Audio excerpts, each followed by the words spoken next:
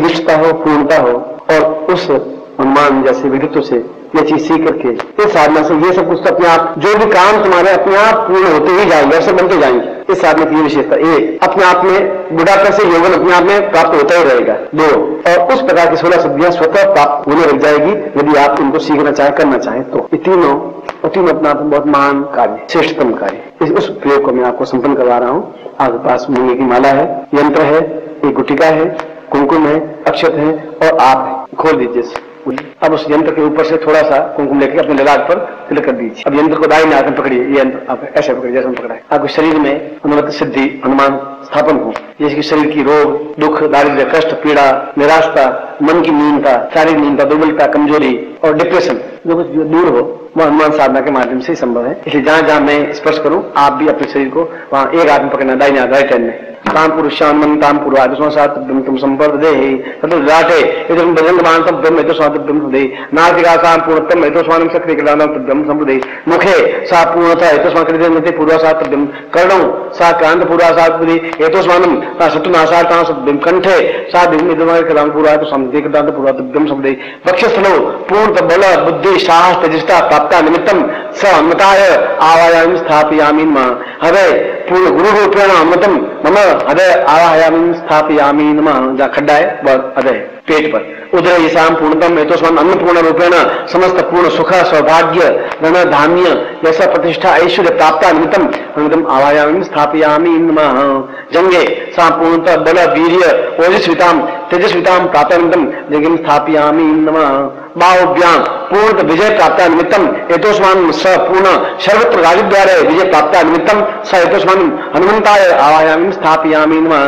प्रश्तो पूर्णतः शत्रुनाशार्थम सर्वत्र एतोस्मान शक्ति कल्याणतम सपृष्टो आवायामी, स्थापयामी। समस्त शरीरे हनुमंताय आवायामी ताम पद्यम संपर्दे जिसको शक्तिपात कहते हैं, मैं वो शक्तिपात की क्रिया कर रहा हूँ। ओम दीर्घ तस्मानम शक्ति कल्याणताम दीर्घोषा चिंतम चिंत पूरा हनुमंत पुरुष समस्त अतुलित बलधानम एतस्मान हेम शैलाभ देहम स पूर्णतम पर्वत आकार रूपेण शांत पूरा श्री कल्याणतम राम दूता यापन पुत्राय पूर्ण शिष्यत्व भाव रूपेण शिष्य भाव रूपेण एवं कृत्य कल्याण भगवता पूर्वा एतस्मान सिद्धि पूर्ण सुख रूप रूपेण चिंत चिंत पूर्वा एतस्मानम शक्ति कल्याणतम मोचना सतमुदा पूर्वा पूर्णतम पूर्णमद पूर्णता पूर्णतम एतस्मानम स मम समस्त कार्य पूर्ण सति अंकम चंतम तंपम यन संबंध मर्दय मर्दय। मलय मलय जागृत जागृत टोटा टोटा दीतम दीतम पाम पिंग पुम भाग्य पुनाम खान की खुंकी जता शांश अंतपुरा अतस्मानुषा चिंतयामि पूर्णम विचिन्त्यम तदा अतस्मन् सातव्यम इदम इदम बोजूति पूर्णम मम तेजस्विताम प्राप्ता निमित्तम मम गुरु निखेश्वर निमित्ते साम तेजस्विता मम नेत्र रूपेण अजम स्थापयामि। सा चिंत्यम पूर्ण सिद्धि प्राप्ता निमित्तम हनुम सिद्धि एतस्मन् सातव्यम संपदे ओम हुम हुम हनुमतये। हुम हुम फट ओम हुम हुम हनुमतये। हुम फट। ओम हुम हुम हनुमतये हुम फट। एतो स्वामी शक्ति कल्याण दीर्घो तो स्वामी मम मंत्र सिद्धि प्राप्त निमित्तम सा गुरुमुख प्राप्त दम हेतु स्वामी सकृति कल्याण तुभ्यम संपर्दे अब इसकी मैं प्रयोग विधि समझा देता हूँ। या आप अपने घर में यंत्र को स्थापन कर दें। गुटिका को अभी आप मार्ग में फेंक देंगे या सुबह फेंक देंगे। इस मंत्र से इस माला से या हकीक माला से, लाल हकीक माला होती है, उस हकीक माला से ज़्यादा हकीक माला ज़्यादा महत्वपूर्ण होती है।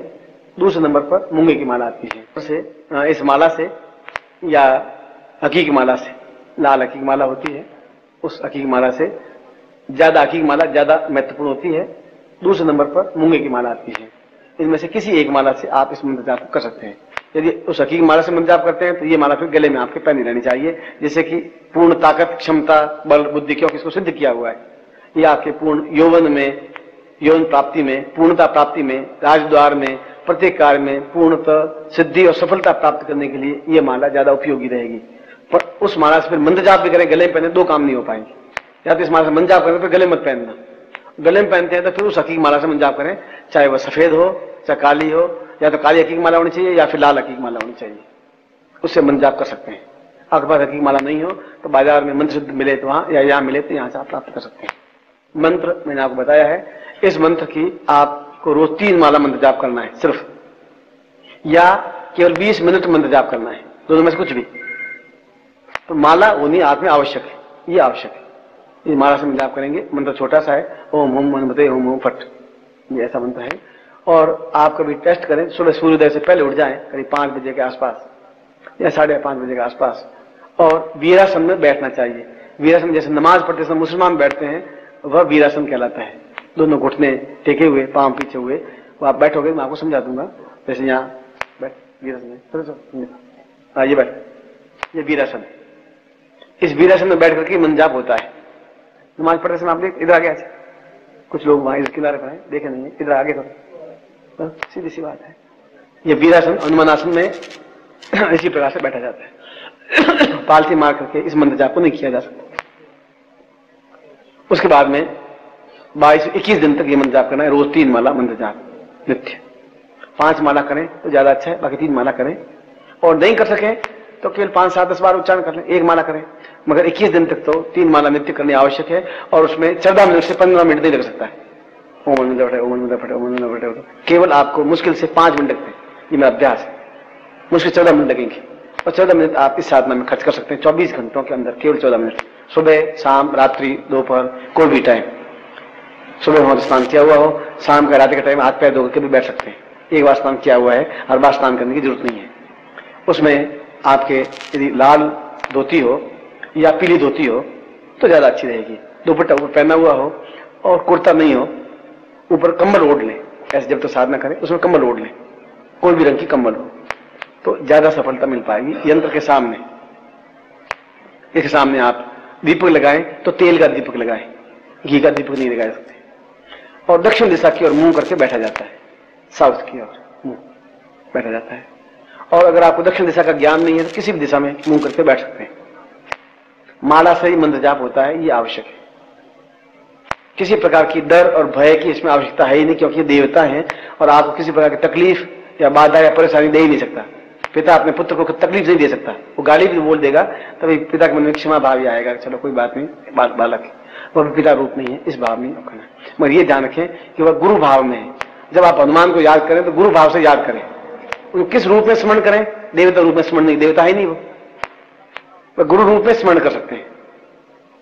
इसलिए संकल्प में भी मैं अमुक पिता का पुत्र, अमुक नाम मैं आप गुरु रूप में, गुरु के रूप में नहीं, गुरु नहीं, गुरु रूप में, गुरु और गुरु रूप में अंतर हुआ मैं आपका गुरु, ये गुरु रूप मानता हुआ मैं इस मंत्रा को कर रहा हूँ, जैसे कि मेरे जीवन की ये बाधाएँ दूर हों। भविष्य में भी जब किसी में पूरे हो जाए, तब आप उस माला को और इस यंत्र को दोनों को नदी में प्रवाहित कर देना है। आपको दर्द होता है नदी में प्रवाहित करते हुए कि यंत्र दिया है, ये नदी में प्रवाहित करवा रहे हैं।